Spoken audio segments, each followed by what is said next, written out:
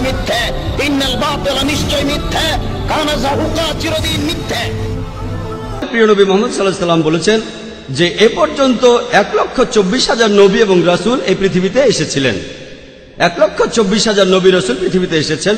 নাম দিয়ে পবিত্রকরণে পঁচিশ জনের উল্লেখ রয়েছে। তবে এই সব নবী এবং রাসূল এসেছিলেন সর্বশেষ এবং চূড়ান্ত নবী মোহাম্মদ সাল্লাহ সাল্লামের আগে। তারা এসেছিলেন শুধু তাদের সম্প্রদায়ের জন্য। আর তারা ঈশ্বরের কাছ থেকে যে নির্দেশ পেয়েছিলেন, সেটাও ছিল একটা নির্দিষ্ট সময়ের জন্য। যে সকল নবী রাসুল এসেছিলেন মোহাম্মদ সাল্লাহ সাল্লামের আগে, তারা এসেছিলেন শুধু তাদের সম্প্রদায়ের জন্য। আর সেই নির্দেশগুলো ছিল একটা নির্দিষ্ট সময়ের জন্য। যেমন ধরুন পবিত্র কোরণে আছে সুরা আল ইমরানের উনপঞ্চাশ নম্বর আয়াতে উল্লেখ করা আছে যে, আমি ঈসা আলাইসাল্লামকে বন ইসরায়েলের জন্য রাসুল হিসেবে পাঠিয়েছি। আর যীশু খ্রিস্ট পৃথিবীতে এসেছিলেন শুধুমাত্র ইসরায়েলের সন্তানদের জন্য।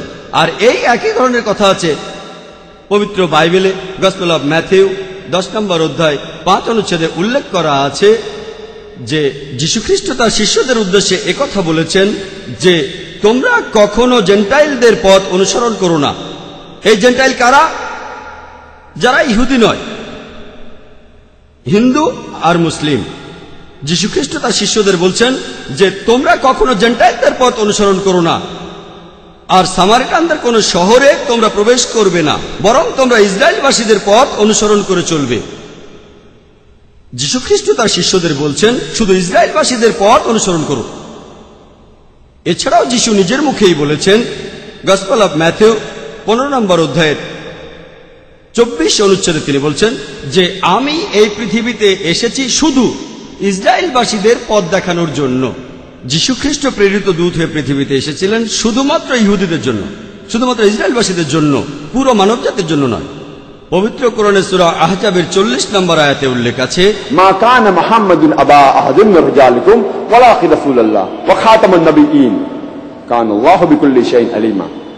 যে মোহাম্মদ আলাইহি সাল্লাম তোমাদের মধ্যে কোন পুরুষের পিতা নন বরং তিনি আল্লাহর একজন রাসুল এবং তিনি হলেন শেষ নবী। আল্লাহ সব বিষয়ে সব কিছু ভালো জানেন। মহানবী মোহাম্মদ সাল্লাহ সাল্লাম হলেন সর্বশেষ ও চূড়ান্ত নবী।